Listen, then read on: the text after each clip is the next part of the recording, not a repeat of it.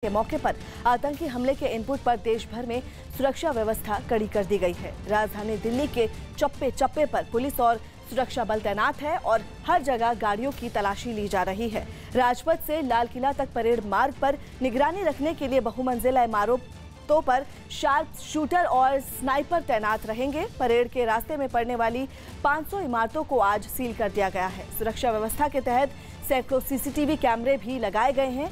इसमें से कम से कम 150 कैमरे लाल किला चांदनी चौक और यमुना खादर में लगाए गए हैं।